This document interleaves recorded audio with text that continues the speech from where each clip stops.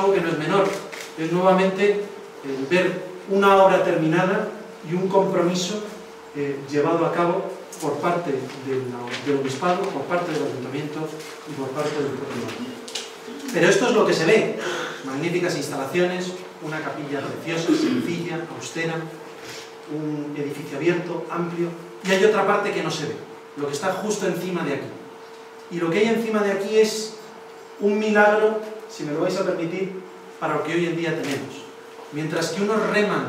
a favor de la cultura de la muerte, en este centro se va a apostar una vez más por la vida. Porque este local no va a ser solo un centro de orientación familiar, sino que nace con la voluntad de ser un hogar de vida.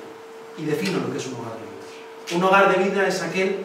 que recibe a mujeres que deciden seguir adelante con su embarazo a pesar de todo, a pesar de no tener recursos, a pesar de ser repudiada por las familias, a pesar de ser eh, dado la espalda por parte de sus amigos, este centro va a acoger como acoge ya hoy a dos madres para que dos vidas puedan seguir con el mismo derecho que tiene cualquier otro ser humano. Ese es otro compromiso más que se ve y que no se ve, porque la Iglesia, como siempre, no presume de las buenas cosas que hace, pero yo quiero presumir en su nombre porque me parece digno de mención y de alabo. Así que bueno, eh, esto será un COF, va a atender a muchas familias, el COF de Getafe yo creo que ha atendido el año pasado 300 familias, me parece dicho, Eugenia, bueno, 300 familias, no sé si llegaremos a atender,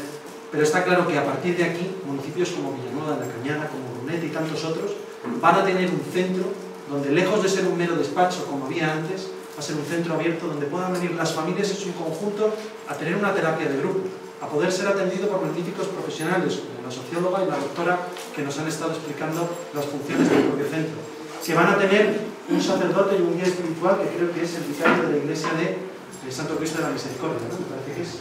y don Julio como eh, área territorial, ¿no? me parece que es gran Bueno, en cualquier caso, que van a tener todo lo que un centro eh, de este tipo puede ofrecerles. Y que además, insisto, que apuesta por algo tan denostado, tan políticamente incorrecto hoy en día, como es la vida. Sorprendente, pero nosotros aquí en Boadilla, que siempre lo hemos dicho, que sí que defendemos como ayuntamiento la vida, que sí queremos ayudar a las madres que quieren seguir adelante con sus embarazos y que no lo han podido hacer hasta ahora porque no tenían recursos, también poniendo nuestro granito de arena, cediendo el suelo de este centro para que nuevas vidas vengan al mundo y que nadie, ninguna ley, ningún político les diga lo que tienen que hacer. Así que yo creo que eso es un motivo de orgullo para todos. Sé que probablemente alguno, después de escuchar estas palabras, que seguro que resonarán, se escandalice, pero a mí me parece que apostar por la vida es lo más progresista que se puede hacer en política y en todos los sentidos. Así que enhorabuena a todos, enhorabuena a don Joaquín, muchísimas gracias al Banco Santander nuevamente por su compromiso, Gracias a la dirección y muchas gracias Luis por el ya Enhorabuena a todos y gracias por asistir.